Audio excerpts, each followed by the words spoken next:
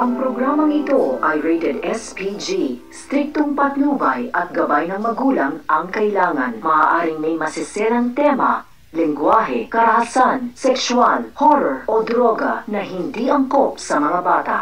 Heto na po mga eksen ng ating abangan ngayong araw ng Martes. Isang gabi, habang kasarapang natutulog si David sa loob ng kanilang tahanan, ay sinamantala naman ni Dr. Jill na lumabas ng kanilang bahay upang tignan ang cellphone na itinatago nito sa likod ng kanyang sasakyan. Nang ito ay kanyang makuha, nagmamadaling kinalkal ni Dr. Jill ang cellphone nito, ngunit wala siyang natagpuan na kahit na isa. Dali-dali niya nga ibinalik ito sa loob ng sasakyan at masaya pumasok sa kanilang tahanan. Kinabukasan, habang naglalaro ng sungka si Gio kasama ang kanyang lola na si Marina, ay bising-bisi naman at tila hindi mapakali ang kanyang ama na si David habang binabasa ang late payment notice na kanyang natanggap. Sa sakit ng kanyang ulo kakaisip ay napatayo na lamang itong si David upang kumuha ng maiinom na tubig. Sa kabilang banda, excited naman ay binalita ni Max sa kanyang kaibigan na si Gio na may bagong araw post na live video itong si Sexy Lexi dahil may bagong araw itong yoga studio. Nang marinig ito ni David ay bahagya itong natigilan at napatitig na lamang sa dalawang binata. Isang text naman ang kanyang na-receive mula kay Grace at ibinalita nga sa kanya nito na pumayag ng araw si Mr. Caparas na muli siyang makausap. Sa kabilang banda, Pumwesto naman itong si David sa kanilang tahanan kung saan bahagya siyang natatakpan ng kanilang fireplace. Ito ay upang mapanood nga niya ang video ni Lexi. Lingid sa kanyang kalaman ay inoobserbahan na siya ng kanyang ina na si Marina. Napailing na lamang ito sapagkat tila nasisense na niya na tinitignan na nga ni David ang larawan o video ng kanyang dating nobya. Ito na nga ba ang simula ng kanyang pangako na mapapako kung inyong matatandaan ay sinabi nga ni David na aayusin ng araw niya ang kanyang buhay at mamahalin ng araw niya ang kanyang pamilya. Ngayong bumalik na si Lexi sa Pilipinas, posible kayang mangyari pa ito o baka naman kakalimutan na lamang niya. Habang ganado na binabrowse ni David ang kanyang cellphone, ay napansin niya na nakatitig sa kanya ang kanyang ina. Kaya naman dahan-dahan niyang binawa ang kanyang telepono at ngumiti na lamang sa kanyang nanay. Pilit na kinokontrol ni David ang kanyang sarili na wag na ngang i-browse pa ang video ng kanyang dating nobya. Matapos mag-live ni Lexi, ay in-appreciate naman siya ng gusto ni Justin. Sinabi ng kanyang kaibigan na napakagandang araw nito, ngunit mas magandang araw kung hindi niya nakakausapin pa ang kanyang dating nobyo na si David. Wika ni Lexi, pupwede raw bang wag na nilang pag-usapan ito? Tugon naman ng kanyang kaibigan, sa oras nga raw na malaman niya na nakipagbalikan ito doon ay talagang susukuan ng araw niya ito. Sagot ng dalaga, wala na nga raw silang dapat pang pag-usapan ni David sapagkat binigyan ng araw niya ito ng maraming pagkakataon. Ngayon nga raw ay magfo-focus na lamang siya sa kanyang business. Sure ka na ba dyan? Wika ni Justin. Agad namang kinuha ni Lexi ang kanyang telepono mula sa kanyang kaibigan at sa harapan nga nito ay dinilit niya ang contact number ni David. Matapos niya itong gawin ay agad nga niyang sinabi kay Lexi na I'm always here for you. Sa kanya ito niyakap ng mahigpit. Ito na kaya ang simula ng bagong buhay ni Lexi? Sa opisina ni Jill ay tinanong siya ni Sandy kung nakausap na nga raw ba siya ni Dean Feliciano Binalita rin ni Sandy sa kanya na nagpaplano ng araw ang board of directors upang makausap siya ng mga ito. Wika naman ni Dr. Jill, nagpaplano na nga rin daw ang university na magpapalabas nga raw ng statement upang malaman nga raw nila na ito'y paninirang puri lamang sa kanya. Well, that's good, wika ni Dr. Sandy. Nagtatakang sinabi nito na sunod-sunod nga raw ang pinagdaraan ng problema ngayon ni Jill, lalong-lalo na nga raw na bumalik pa itong si Lexi mula sa Amerika. Napatingin naman ang wala sa oras sa kanya itong kanyang kaibigan. Sagot naman ni Sandy, nakita niya nga raw kasi ito na nag-live sa kanyang social media account. Alam na nga raw kaya ito ni David? Are you worried? Tanong sa kanya ni Sandy. Sagot ni Jill, non-issue na nga raw itong si Lexi pagdating sa kanya. Masaya na nga raw silang mag-asawa at okay na nga raw ang kanilang pamilya. Naantala naman ang kanilang pag-uusap nang biglang pumasok sa kanyang opisina ang isang nurse kasama ang mga pulis. Sinabi nga nito na inaanyayahan daw nila si Dr. Jill sa presinto upang makapagpaliwanag sa mga reklamong ibinabato sa kanya. Sa pagdating ni Doktora sa presinto ay nakita niya itong si Enzo na naghihintay sa kanya. Wika ng binata, siya nga raw yung taong pumasok sa kanyang tahanan habang siya'y naglalaro Nagalit nga raw ito nang palabasin niya ito sa kanyang bahay. Nagalit nga raw ito at nagbasag ng bote at siyang itinutok nga raw nito sa kanyang leeg. Bigla namang tumayo itong si Dr. Jill at nagpanggap nga itong si Enzo na takot na takot sa kanya. Aniya, masakit na kasi, tama na. Sagot naman ni doktora, paninindigan mo ba talaga yan? Wika ni Enzo. Nag-amok pa nga raw ito sa loob ng kanyang tahanan. Pinapalayas pa nga raw siya nito tinutukan. Di ba trespassing yun? Nagpapaawang effect na kwento ni Enzo. Isasama nga raw niya ito sa kanyang demanda, habang ito namang si Dr. Jill ay napapangisi lamang sa kanya. Muling nagtungo si David sa kabundukan upang muling makausap si Mr. Edward Caparas. Paliwanag nito kay David, binana pa nga raw niya ang naturang lupain mula sa kanyang mga ninuno. At ayaw niya nga raw magaya ito sa ibang lugar na binaboy lamang ng mga tulad ni David. Sinigurado naman ni David na hindi nga raw niya gagawin ang bagay na yon. Nakita naman daw ni Mr. Caparas ang plano, di ba? Nakabase nga raw kasi ito sa topografiya ng lugar.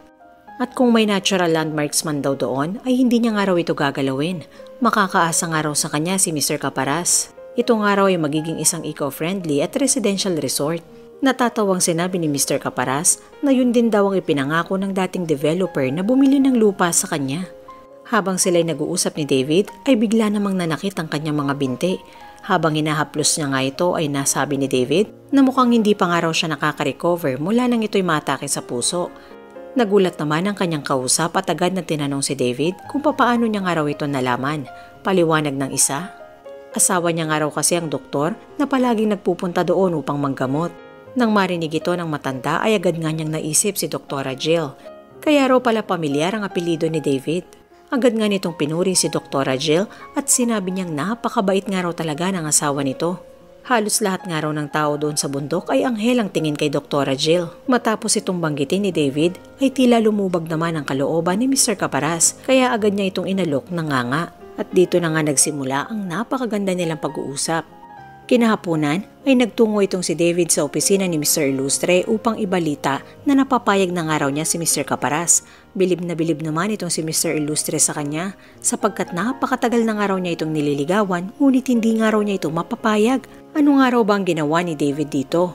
Napangiti na lamang itong si Mr. Illustre. Samantala, habang sila'y nag-uusap ay bigla namang umakyat sa hagdan ang asawa nito na si Natalia kasama ang anak nila na si Lexi Lucero. Ito ang una nilang pagkakataon mula nang umalis si Lexi patungong Amerika. Muling nagkatitigan si David at ang dalaga. Ngunit naramdaman ni David na tila iniiwasan na siya talaga nito. Kaya naman, nang alukin siya ni Mrs. Natalia na doon ng araw kumain, ay agad nga itong tinanggihan ni David. Sapagkat ramdam niya na hindi sila okay ng kanyang dating nobya.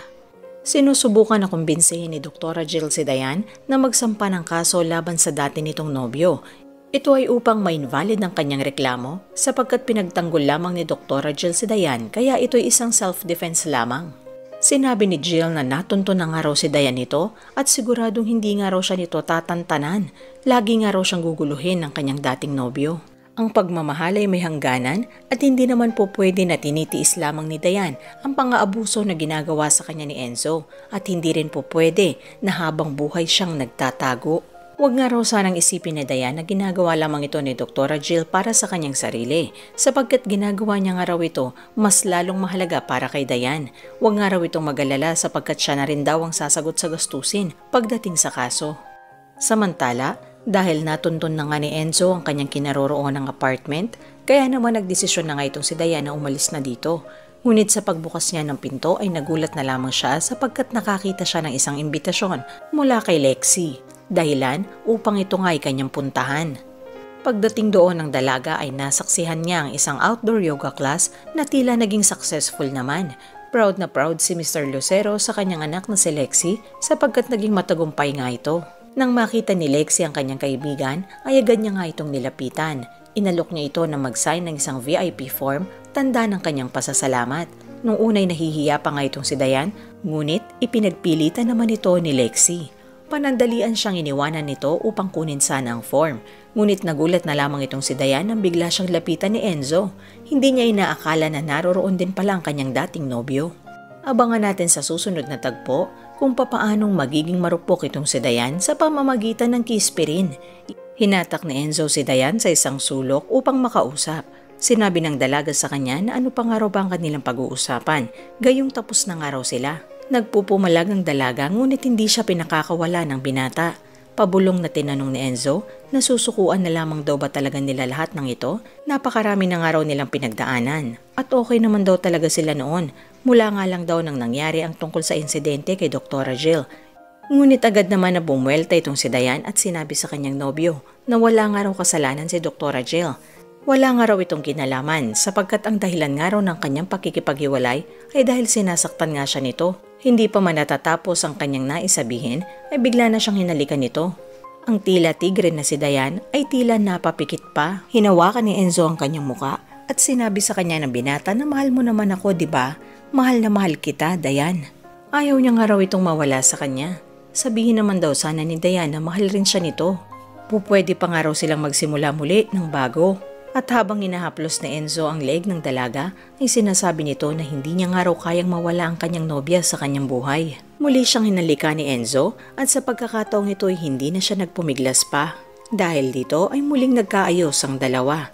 Kinabukasan, na makipagkita itong si Dayan kay Dr. Jill ay humingi ito ng tawad sapagkat hindi nga raw niya kayang gawin ang pinagagawa nito sa kanya.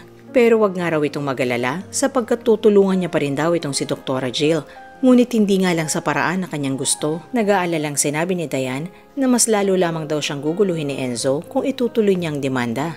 Sagot ng dalaga, hindi naman daw ito habang buhay na makukulong. Mas lalo lang daw silang magkakagulo sa oras na lumabas ito. Hindi na nga raw niya itutuloy pa ang demanda para sa ikatatahimik nilang lahat. Sa pagkakataong ito ay hindi na ipinagpilitan pa ni Dr. Jill ang kanyang nais. Sinabi nito na gawin lamang daw ni Dayan kung ano sa tingin niya makabubuti para sa kanya. Ngunit bago pa man tuluyang magtapos ang kanilang usapan, sinabi nito sa dalaga na mag-iingat nga raw siya kay Enzo sapagkat delikado nga raw talaga itong tao. At sa labas ng naturang restaurant ay hindi alam ni Doktora na minamanmanan pala siya ng nobyo ni Dayan. Sa tahanan ng pamilya Ilustre, habang sila'y nag-aagahan, ay ibinalita nito sa kanyang asawa na si Jill na tuloy ng araw ang kanyang proyekto sapagkat nakuha ng araw niya ang bagong lokasyon. Tanong ni Jill, bakit parang hindi ka masaya? Sagot naman ni David, masaya. Bakit naman ako hindi sasaya? E tapos na yung problema. Nag-aalalang sinabi ni Doktora na sana nga habang sila'y kumakain, isang text message naman ang natanggap ni Doktora. Nang ginamit niya ang kanyang telepono ay agad siyang sinita ng kanyang anak na si Gio. Sinabi niyang kanyang binata na di ba mama sinabi mo na bawal mag-phone pag kumakain? Dahil dito ay agad na nilayo ni Doktora ang kanyang cellphone. Napangiti na lamang ito. Hindi pa man nagtatagal ay isang text message naman mula sa unknown number ang kanyang na-receive. Sinabi nito na Doktora, pa-appointment naman. Dahil dito ay bakas na naman ang pag-aalala sa mukha ni Doktora Jill. Tila gumamit ng ibang telepono itong si Enzo upang guluhin si Doktora. Samantala, dumiretso si Doktora Jill sa isang liblib na lugar upang makipagkita kay Enzo. Tinanong niyang binata kung papaano nga raw nito nakuha ang kanyang number. Tugon naman ni Enzo, sino pa nga ba? Sino nga bang nakakakilala sa ating dalawa? Sagot ni Doktora, Pinuwersa mo na naman ba itong si Dayan? Sinaktan mo? Sagot naman ni Enzo, huwag kang mamintang doktora. Baka idagdag ko na naman yan sa kaso mo. Napatalikod na lamang itong si Jill. Sinabi tuloy ni Enzo na tense na tense naman daw siya. Natatakot nga raw ba itong si doktora na malaman niyang sikreto nila ni Dayan? Binura nga raw kasi nito ang kanilang text messages. Napakatalino nga raw ng kanyang girlfriend. Sagot naman ni doktora, ex-girlfriend. Natatawang sinabi ni Enzo na huli na nga raw sa balita itong si doktora Anong araw bang gusto nito kay Dayan? Babae na nga raw bang trip ngayon ni Doktora Jill? Willing naman daw siyang manood sa kanilang dalawa. Tila na insulto naman itong si Jill kaya agad niyang itinulak ito papalayo sa kanya. Tanong ni Doktora, anong araw bang kailangan ni Enzo sa kanya? Sagot naman ng binata, gusto lamang daw niyang liwanagin at sabihin sa kanya na hindi nga raw siya nasisindak. Sa oras na malaman nga raw niya ang sikreto nilang dalawa ni Dayan, ay sisiguraduhin nga raw niya na lalo niya itong ikasisira. Muli na namang nagbantay itong si Enzo sa kanya. Hindi pa nga raw ba sapat ang paninira ni Enzo sa kanya sa harap ng mga pulis, pati nga raw ang ginawa nitong troll sa kanilang website?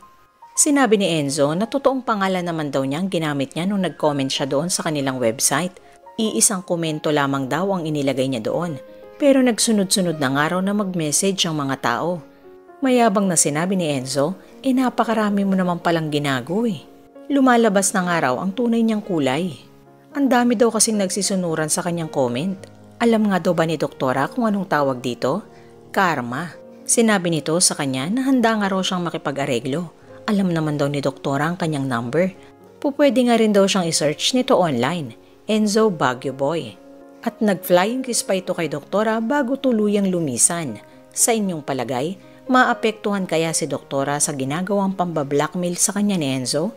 Ito po ang ating mga susubaybayan dito lamang sa The Broken Marriage Vow. Maraming salamat po sa inyong pakikinig and God bless us all.